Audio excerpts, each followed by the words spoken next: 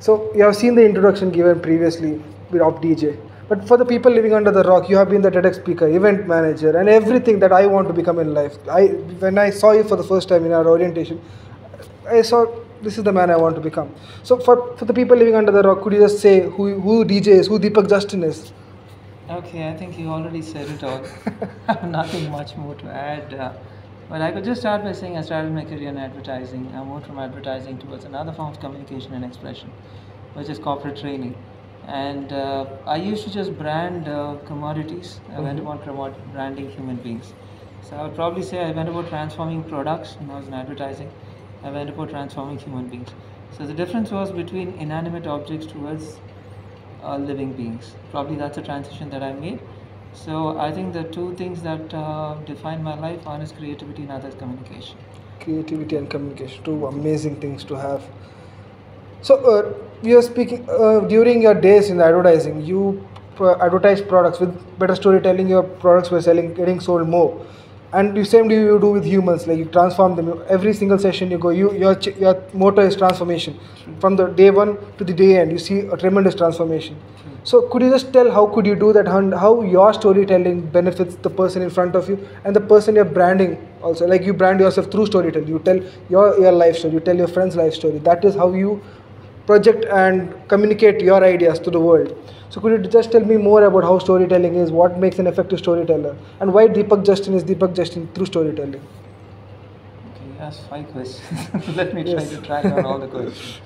Okay, fine. So, uh, why is storytelling so important? I think probably Yes, that is the first yes. question. So, Bill Grove, the founder of uh, the founder president of uh, National Speakers Association, he says that uh, every form of presentation or every form of public speaking should have a story and it should make a point you know so i guess uh, we're all in the form of in the business of communication presentation so an effective presentation should have a good story and should make a point and uh, what makes an effective story? Yes everybody tells a story. A good story is the one that connects with an audience and i think that is one thing that really uh, differentiates a good story from probably not so good story. And uh, what makes me a special storyteller? I am a story collector. You know all my life like and i've been collecting stories not only my own but also the stories of other people so when i sit with people i ask tell them what is your greatest story what is your finest story what is your life defining story what is your life transformational story so i ask them these questions and when they float around these stories i ask them the question can i quote this in public so I think that's something that makes a difference. It's not something that I subsist with my own stories. And sometimes I use the fabric of my own imagination to create stories that did not exist. So, uh, and I tell them very clearly, this is a story of my imagination. I still remember I was a very shy child and I wrote this particular, uh, this piece of literature, if I were to call it, for my uh, school magazine. And it was all about uh, a swallow, a bird, a swallow which actually flies it falls and it breaks its wings and it tries to fly again when it falls so i wrote in a poetic interlude and uh, in that i just go about telling as to how we're all like the swallow you know somewhere like you know we break our wings and we struggle whether and we are have these self-doubt as to whether we can fly back again and uh, the story ends with that particular line which says like you know will the swallow swallow its pride or and uh, eat the worms on the ground or will it resurrect its broken wings and learn to fly again? So, years later, I created that into a real story and I gave it in the form of a speech. So, uh, that story is not true. And the reason I selected a swallow or a sparrow or a crow is because of this one line Will the swallow swallow its pride? So, it had a poetic uh, touch towards it. So, I guess, like, you know, collecting all these stories, you know, is something that made me who I am. And I personally believe that uh, you start collecting stories, you'll be an impressive speaker yourself. okay start collecting stories let us start collecting by dj's inspirational story dj's life changing story what what is that one story that defines okay today i am because of that moment i lived in my life Okay, I'd probably say uh, there were too many stories that happened in my life. I think it's very difficult for me to um, fix on one and say that, yeah, this is the one story that made a difference to me in life. Like, I don't know. There are too many things that happen. At different stations of my life, I think too many things that happen. And that is something that made me different. So I find it really difficult for me to hold on to there one. isn't there a one story that you would tell the world okay this is my story. Okay, uh, I'd probably say that the one story that I'd probably hold close to my heart is the fact that you know I was told that I was this person who could never stand on stage and speak. Okay. You know, as a child, I was told that you know he's too mild as a speaker, he's too soft as a speaker, he's too uh, mellow as a speaker, as a as a communicator. I used to sit in the last row, the last but one row because of my height. And uh, when a teacher used to ask me for a question, I used to respond, and the response was never even heard by the teacher. So invariably, I think I used to lo- lose out a lot. And uh, I think when uh, I got into my school group and I said that uh, I am today a communicator by profession, most people say DJ can speak. You know, that's kind of question that they were actually asking me. So I'd probably say that is one story. So my the point I was trying to make, and I would want to make to anybody who's listening to this particular podcast or witnessing this, is this: if I can do it, anybody can. Now my hashtag is this: anybody can. It's a very proud moment just saying that proved you wrong. Yeah. I would feel cheap thrills actually. Yeah. You say that you know someone rejected you and someone rejected and now yeah, you are what pretty they much good. Yeah. So storytelling, collect stories, and what through oration, like you could tell great stories through writing, through oration, through videos. There are Charlie Chaplin told stories without uh, telling a single word. He he just had his final speech. That was the only th- time he spoke on TV. So what made Charlie Chaplin a better storyteller? Because he just spoke through his moments, and body language is one of the key key key ingredients for better communication. So how was he able to communicate to the world his way of comedy, his way of inspiration? Could you just shed some light on that? Okay, see, Charlie Chaplin was a genius. He was able to make people laugh at a time when they was going through a recession. Yes. And uh, he made people laugh at themselves, and I think that was his greatness. He never made fun of the rich. He never made fun of the yeah. His last film, I mean, I think the Great Mm, Dictator. Great was his last yes. film. I think uh, he actually made fun of a particular political leader, like Mhm. in a very satirical form. But uh, most of the times, he made people to look at their own problems and to look at it in a lighter way. I think one of his greatest, greatest quotations was this. He said, "A life is a comedy in a long shot, and it's a tragedy in a close-up shot." So I guess that's the way he was able to look at life, and I think his genius lay in the fact that uh, he would probably put himself in the victim position and yet not be victimized. You know, so I guess that was his genius. And uh, back in the day, I think the form of comedy that they had was more like burlesque. Mhm. Burlesque is too much of action comedy, and it's not situational comedy. It is not a, a dialogue-driven comedy. It is not like a Woody Allen comedy where it's written. The narrative is what's the one to drive the script. No, his was more of the action comedy. So I think uh, people of his times were more uh, I mean, more or less thriving on that genre of uh, comedy. So he was quite successful, and most importantly, I think he made people to think, to think about their plight. He, able to, he was able to entertain them, you know, despite the fact that things were not pretty much good on their uh, side. Charlie Chaplin was indeed great. The clock scene was actually amazing. That, is That was amazing. That genius, yeah. That was something different. So you have been an event manager. You have written stories. You advertise this brand. You are a personal. You personally personally brand yourself. You change leaders. So there are around hundreds and hundreds of people around the world who just want to get into this industry and be a life changer or transformational leader. So how does one go about that? Is it through better story or is it through having a great, great, great, great background, background that okay, I have done this, I've cl- climbed Mount Everest, or can a common man do that? Yeah, I think everybody's got a story. Everybody's got, uh, I mean, the basic magic in them. And I would say that you know the first thing you need to realize is what do you want to become. Do you want to be an event manager? Do you want to be a speaker? Do you want to be a motivational speaker? Do you want to be a corporate trainer? Do you want to be a personal coach? Do you want to be a keynote speaker? Like you know, I think if that is first of all like you know identified, then you need to focus on how you can get there. You know, how can you get better in that same craft? You know, you keep working on it. Probably you can hire a personal coach. You can join certain movements that facilitate your communication process or your communication drive. And after that, you start experimenting low. Like you know, you just look at the low-hanging fruits. And after that, you get into the big stage because the big stage is unforgiving. You know, if you try to speak in front of 5,000 people and fear to fall, obviously I don't think you're going to get your second chance. And one of the things I learned in motivational speaking is this: when you finish a motivational talk, it is not the standing ovation that actually defines who you are. It is not the number of compliments you get from the audience that really defines who, how great a motivation speaker you are. But when a couple of people call you back and they say, We want another gig with you, that is when you define yourself as a motivational speaker.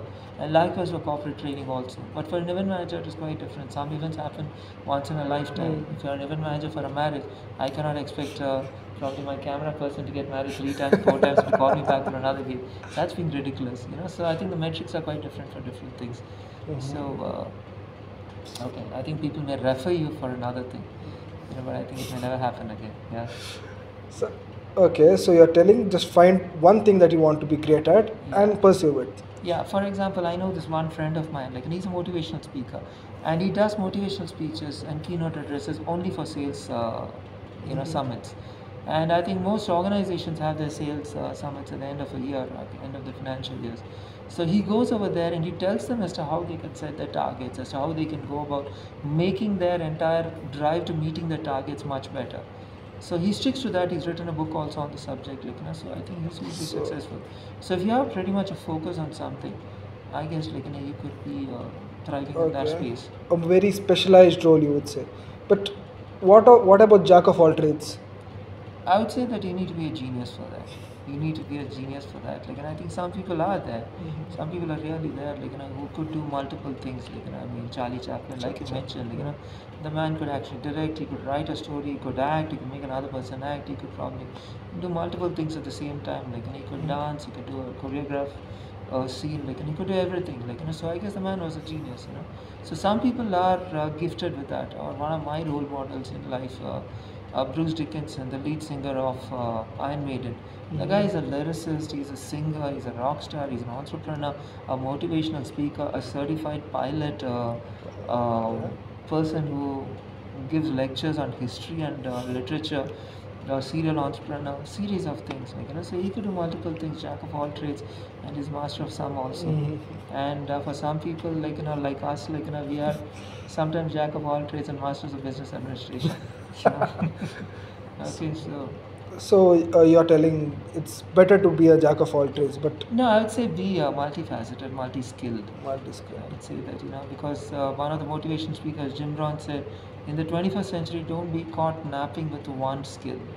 You know, you could get washed out. AI could replace you.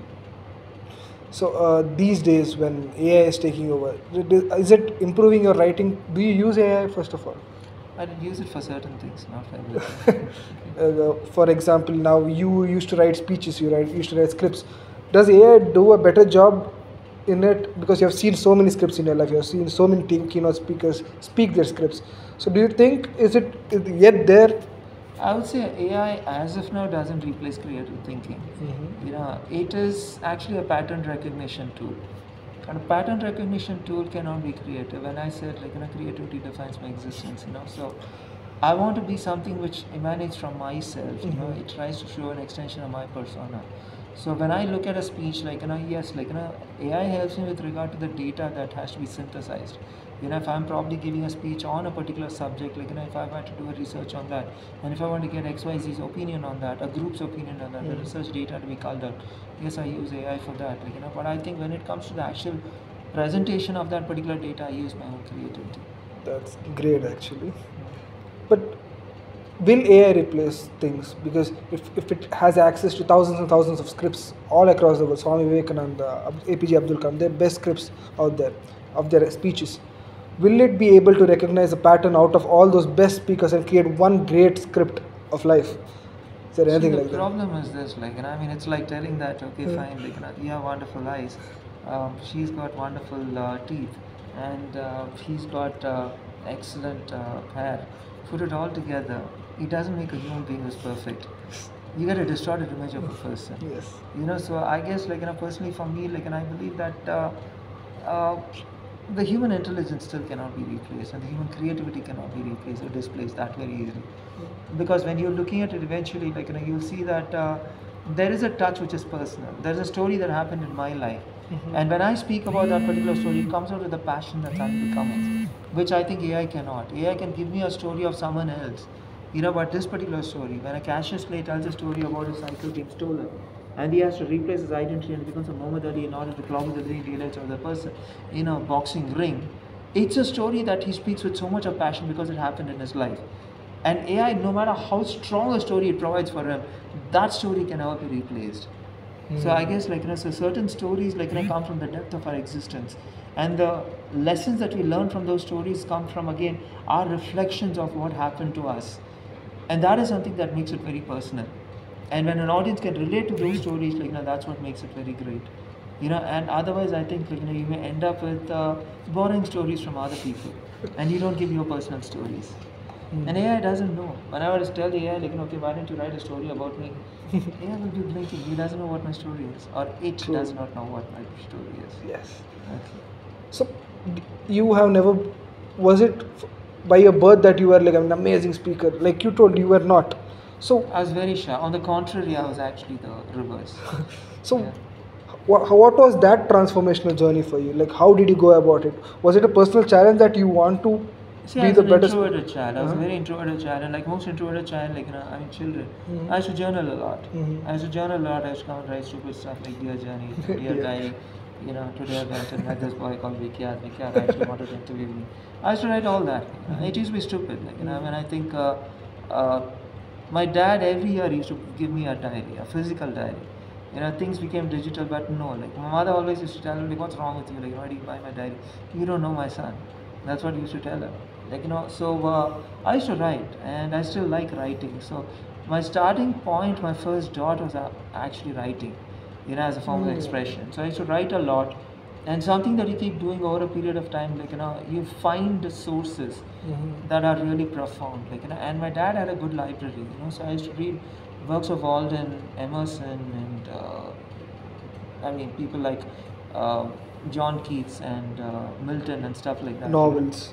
Not novels, but works of literature. You Works know? of- uh, so I guess like you know, so that had a deep impact on me. Like and some things which I did not understand. You know, I used to sit and have a dialogue with my dad. And some of the conversation that I have, like, I truly treasure them because I guess uh, he was actually an MA in literature, and he actually motivated me to study MA in literature after my graduation. I did that out of sheer joy and uh, out of the sheer, uh, you know, interest in the subject. You know, so writing is something that truly fascinated me, and that started off the whole journey. Hmm. And uh, most of my first speeches were actually extension of my own writings. And some of them appeared less conversational, they appeared more literary. You know, most people would comment saying that, okay, this is a very, very uh, written uh, piece of, uh, you know, communication. This is not appropriate for uh, a person to read it out. You know, so later I realized I had to change my style of speaking. You know, that's how my journey began. So you started off by writing, your, writing and expressing yourself through Correct. pen and paper. Through the written word, yeah. Yes. Okay. Now let's get to the next segment. I just wanted to ask: Are you born with create? This is just straightforward question. Are you born with create? Are you born creative or do you be creative? I believe everybody is born creative. I strongly hold that children are the most creative people, and They I think are. we all grew up from Mhm. childhood to becoming adults, unless, of course, you're a god. So, like I said, uh, you told people are born creative. So, like everything, creativity ha- does it have a structure or is it just out See, there? people try to find their own method for the madness, and everybody has their own method. There's no single formula. Mhm. I mean, you look at a Quentin Tarantino, like, you know, I mean, he has his own method. I mean, there's a movie in which uh, he kills Adolf Hitler, Mm. and uh, Adolf Hitler dies in an auditorium in one of his movies. In another movie, I think there are two characters who are actually dead. Mm. you know and uh, the last scene they just walk out a non-linear style of storytelling so people have their own styles of uh, creative expressing their creativity But what if a person says, "Okay, I'm not creative. I do not. I'm not that genius." So, what would you say to them? Like, how do they unlock that potential of them? see it's a mental block according to me it's a mental block and everybody is creative in some way and different dimensions of creativity i'd say like some people are verbally creative some people are pictorially creative some people are mathematically creative. Some people are spatially creative like you know so i guess they have different dimensions of creativity. The point is for you to unlock which form. You know i still remember chemistry teacher taught me taught me about uh, valence electrons in a very uh, creative fashion. And she spoke about something which i could connect so very easily to this very day i can uh, relate that particular uh, chapter that she had actually taught me. And that person was my mother you know because uh, i was really struggling with that particular chapter and she taught me that in a very creative fashion like, and i said oh in chemistry can be taught in a very creative fashion Hmm. So, everybody has their niche. everybody has their own way of expressing it yeah. Hmm. So, Okay, now our main uh, goal objective for this is to know more about storytelling. Storytelling itself is an interesting subject because anything can be made interesting. Any any piece of literature could be made interesting. But how do we go about it? There are certain stuff. For example, if I would tell you, make this chair interesting. How would you do it? How would you make it interesting? No, a chair is not a story. The, a story around the chair. Okay. See, there are basic components as far as the story is Mhm. concerned. Like, you know, see, the thing is, uh, you need a conflict. Mhm. You know, see, I would say that, you know, a cat sat on a mat is not a story, it's a statement. Mhm. A cat sat on a dog's mat, now that's a conflicting Mm. statement because you're wondering what happened to the cat. I mean, was the dog attacked by the and if you're talking about a Christopher Nolan style of storytelling, he would probably say the cat sat on a dog's mat which was beaten by his master who lost his job because he was questioned for his integrity uh, and uh, he could be arrested. So you have layers and layers of conflict, you know, Hmm. and that is easier for a storyteller to build into a rising uh, dramatic action. So, and I think that is where, like, and I think Christopher Nolan as a storyteller really excels. You know, he puts too many, like, you know, uh, conflicting points, like, you know, for the protagonist to debate about or to confront. So, if you were to talk about this particular chair, you'd say that, okay, fine, like, you know, uh, my grandfather actually sat on this particular chair and he died. His Mm. ghost is still sitting in the chair and just staring at me. And in the night, if someone sits on it, they get thrown apart. They, get thrown apart. Okay. And uh, incidentally, my grandmother died because she sat on this particular chair on his birthday and he got to live it. You can build on anything. You can build on any which way. This is a stupid chair. You know, and this chair was probably built one month ago. okay, even way before my grandfather was even, Yes. you know, uh, died or passed on. So I guess you can build on it any which way. So if you want to make a funny this thing, you can say, like, you know, what if this chair had a, a voice? Hmm. If it would actually start talking. It could talk about a person who sat on this particular chair and uh, swung across, and the weight of the thoughts were actually imbibed by some kind of osmosis. You know, you can build on it. All you have to do in order to make it realistic is slip in some scientific terms like osmosis and people buy it. You know? So, and the chair can actually read. It could be an amazing Chair thought. can read. Uh, the chair can read a person. Whoever sat on it, it can actually echo their thoughts. So it's like a lie detector. It is like whatever. You know? So it's wired with AI. so it can actually tell a story. Yeah. So you can make up any story that you want. Great, great, great. So now, what what makes an amazing story is conflict. There is some layers and layers. I saw Christopher Nolan's storytelling style. He has a conflict. He solves it. There is another conflict. Then that is a circle. That is a circle by itself. The protagonist finds a conflict. He finds a resolution for it. Then there is another. During the path of his resolution, there is another conflict. There is another smaller conflict. That makes a great story because that is something we are looking forward. How how will the protagonist save his save save himself or save the world? So that is one conflict in superhero movies. Super, uh, Superman is that one part of it. So now, when you say a great story, there is many, many, many factors. You fumble sometimes. You forget what the protagonist is even there. You forget how to deliver it in a particular way. You forget the pauses. So to build a great story, do you have to recite it in your own mind, or do you have a pen and paper? Like I'm, if for an example, if you would explain it to a five-year-old child, how would you explain how to tell a great story in his school, in his kindergarten? How would you tell that? Okay, see, it's not just conflict alone that makes a good story. It's interesting characters also. Mm-hmm. You know, so I saw a movie, an Indian movie, regional movie, like you know, where a character is struck by a lightning and he gets superpowers. You know, and uh, he realizes that okay, fine, he's a superhero, and he realizes the lightning had struck another person at the same time. So there's a protagonist and an antagonist that's created with the same superpower.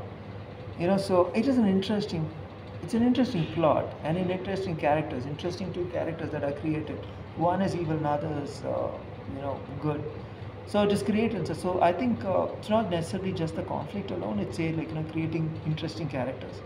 It is writing interesting dialogue. Some people are very good with dialogues. You know, so I think if you can probably write brilliant dialogues, and uh, which create that, which makes the plot advance, and uh, your plot points with twists. You know something that happens which is a twist, like you don't expect it to happen.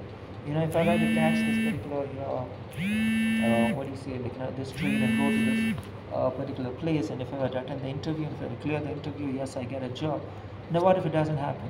I miss the particular uh, train, and if I don't go, then the story takes a different twist or a different direction. So you actually think about the possibilities. Now, I had the fortune of meeting this uh, legendary storyteller called uh, Jeffrey Archer. And Jeffrey Archer was asked this question. I mean, he was there in the gathering. I didn't meet him one on one, but I was there in the gathering that met him. Like, and uh, he was asked this question okay, how do you know who is in, in a suspense novel? How do you know who is the, the culprit, the perpetrator? And he said, till the last chapter, even I don't know. Because if I don't know, if I know, I would lead my audience in some way by leaving them cues.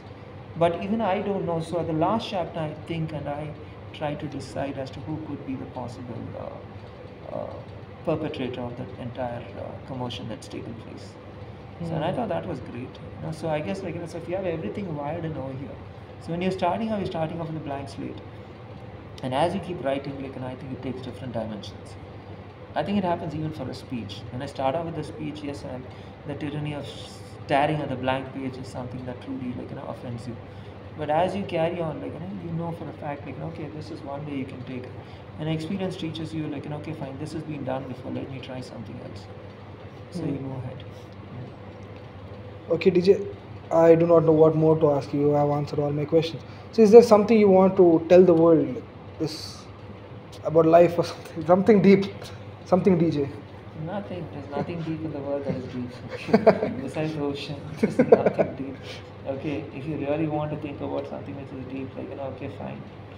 Um, relegate yourself to solitude. Okay, and reflect yourself silently. You may get something which is deep. But I think uh, life is something which is interesting both at the deep end and at the shallow end.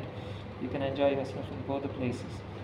So all I'd say is you have one life, live it to the fullest, respect the process, enjoy life, and most importantly, be happy, keep smiling. Because uh, I met a beautiful lady, she's my wife, and uh, she had this lovely life. Uh, there's nothing more precious than the smile on your face. Don't lose it for anyone or anything. That's probably the deepest message I've got in my life. Yeah, DJ. Thank you, thank you so much. Thank you so much, Vikas. You've been a wonderful host. Oh my god. Let me show you what I